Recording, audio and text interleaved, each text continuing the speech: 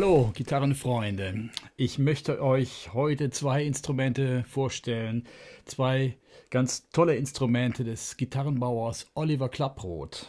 Der ist noch nicht so furchtbar bekannt, ist aber so ein richtiger Senkrechtstarter in der Gitarrenbauszene. Er macht ganz hervorragende Instrumente und zwei davon habe ich heute hier.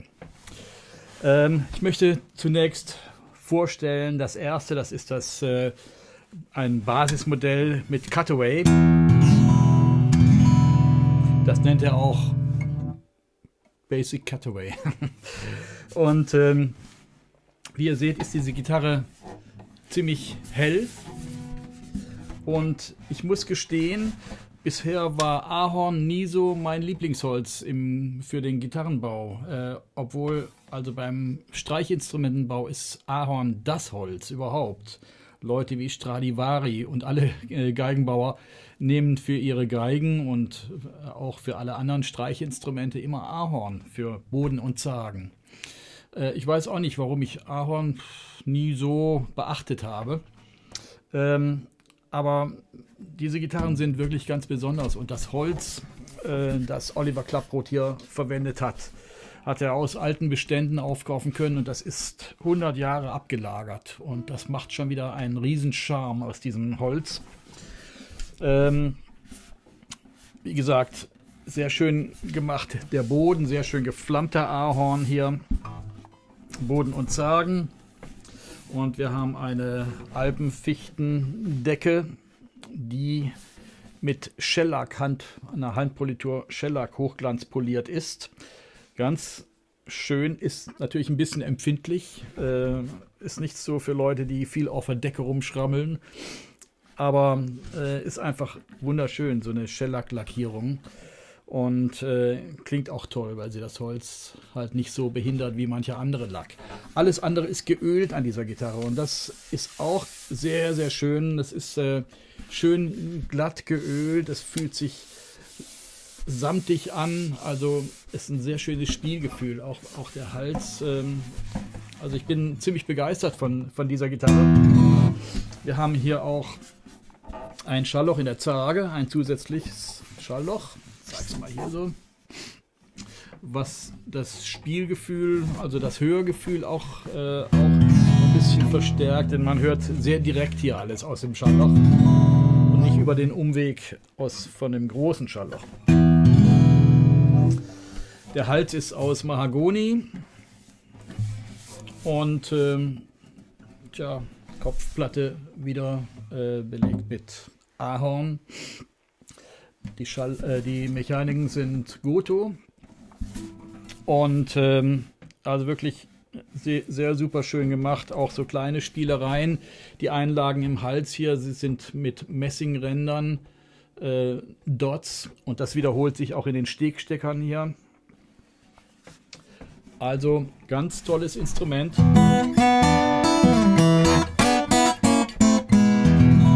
Spielt sich traumhaft.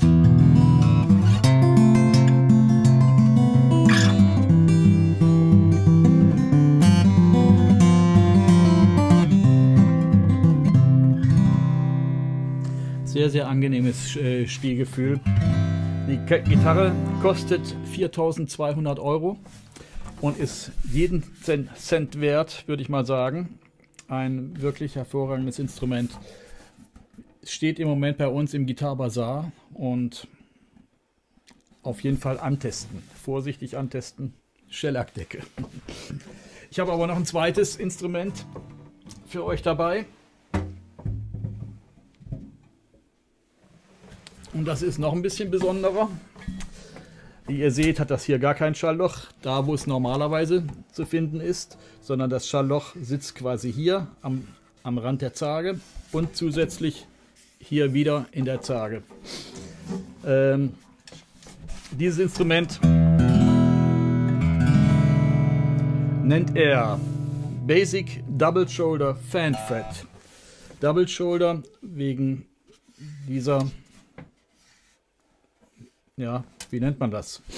Das ist ja eine Schulter, aber hier ist eigentlich zu, aber es sieht so ein bisschen symmetrisch aus wie zwei Schultern hier. Ähm, Fanfret, ihr seht, ähm, Die Bünde sind schief.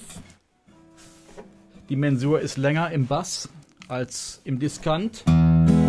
Das sieht erstmal ein bisschen komisch aus, aber ihr werdet sicher schon das eine oder andere Instrument dieser äh, gesehen haben, was so ähnlich gebaut ist. Äh, was natürlich toll ist, eine längere Mensur im Bass, das erleichtert die Sache. Und ähm, fürs Spielgefühl ist es auch ganz toll. Wenn man es nicht weiß, merkt man es eigentlich kaum. Aber es ist sehr ergonomisch, denn wenn man, wenn man jetzt den Finger so nach oben tut, wird er automatisch eine Position einnehmen, die in diese Richtung geht. Und genauso sind die Bünde auch ge gemacht. Also für Barré super. Man kommt bis hier oben hin, ohne dass man sich verrenken muss. Ansonsten ist die Gitarre zu hier, aber man kann sie öffnen. Und zwar gibt es hier hinten eine Klappe. Und dann kann man rein und kann von innen was immer man tun möchte, wenn man, wenn man zum Beispiel ein Pickup einbauen möchte oder sonst wie. Man kommt dran, gehalten wird das Ganze. Das ist auch eine schöne Idee mit kleinen Magneten, die hier äh, eingelassen sind. Und zack, schon hält es. Magnete übrigens auch hier oben, wo, wo man den Hals eventuell mal nachstellen kann. Das ist so eine Abdeckplatte für den Stahlstab. Und ist nicht geklebt, nicht geschraubt, sondern wird von Magneten gehalten. Sehr pfiffig gemacht, finde ich. Auch hier haben wir wieder äh, diese Einlagen mit Messingringen, was sich hier wiederholt bei den Stegsteckern. Und die Gitarre ist super, muss ich sagen.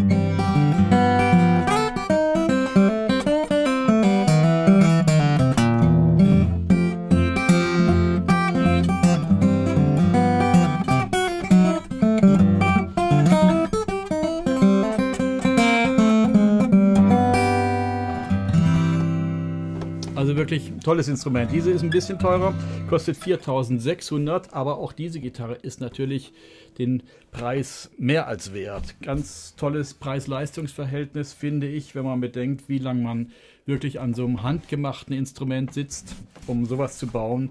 Sehr, sehr saubere Arbeit, muss ich sagen. Oliver Klapproth ist ein toller Handwerker und versteht was von seinem Fach und ist auch Musikliebhaber. Und irgendwie spürt man das bei diesen Gitarren.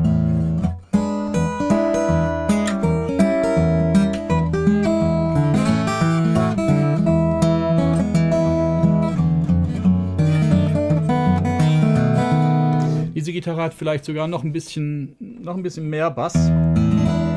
Ich kann es jetzt nicht beurteilen, wie es von da vorne klingt, aber zumindest hier hat man den Eindruck, da kommt unten noch ein bisschen mehr raus.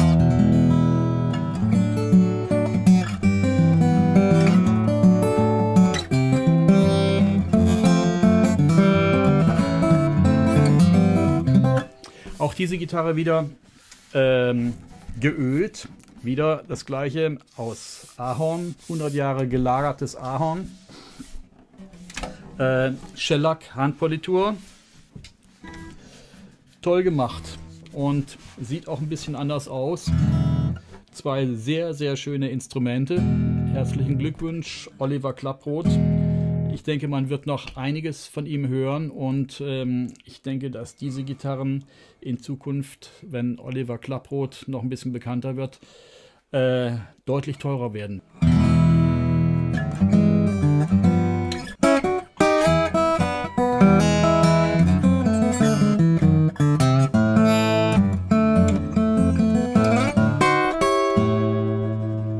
Klapproth.